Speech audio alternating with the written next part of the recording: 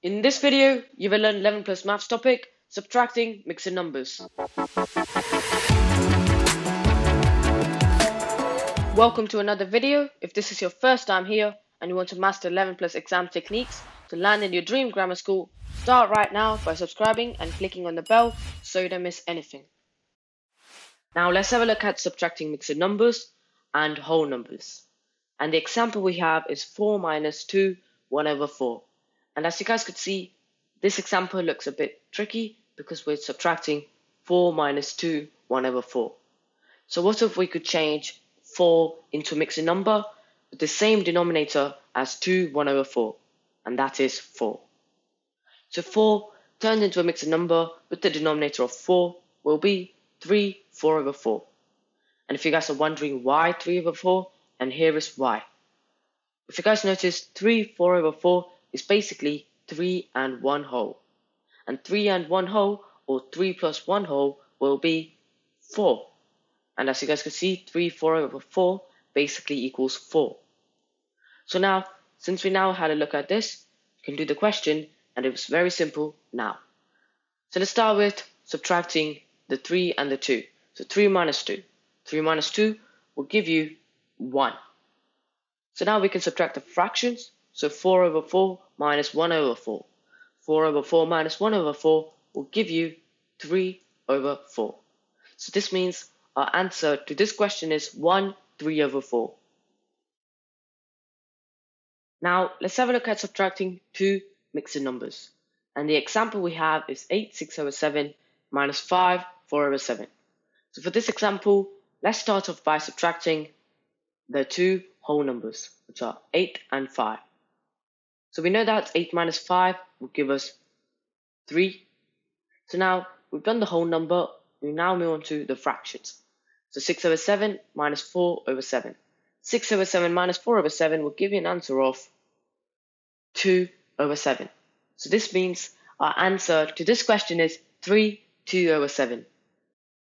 Now let's see how to subtract two mixed numbers. And the example we have this time is 3 2 over 6 minus 1 5 over 6.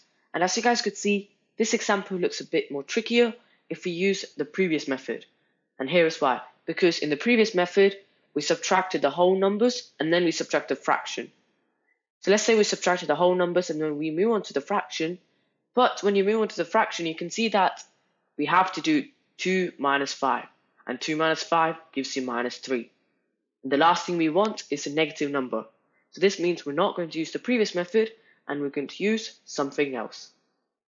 So as we said in our, one of our previous videos, that we can write 3 2 over 6 and any other mixed number as 3 plus 2 over 6. So we can write a mixed number as a sum of its whole number plus its fraction.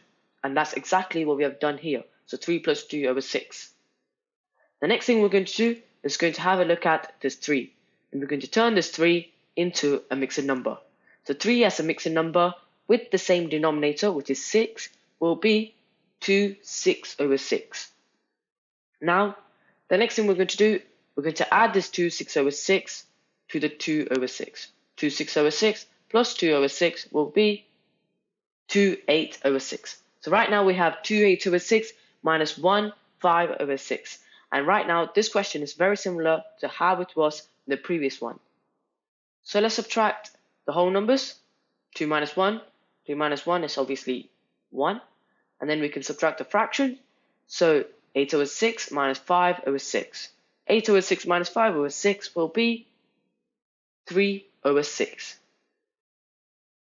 But if you notice with 3 over 6, so 1 3 over 6, you can see that it can be further simplified because 3 over 6 still has a highest common factor. So 3 and 6, they both have a highest common factor. So 1 3 over 6 simplified will be 1 1 over 2. So this means our answer to this question is 1 1 over 2. Now to learn more on 11 plus maths, click the video on the right. And to learn the previous topic, click the video on the left. So take your pick. Thank you so much for watching. Please subscribe to my channel. I'll see you next time.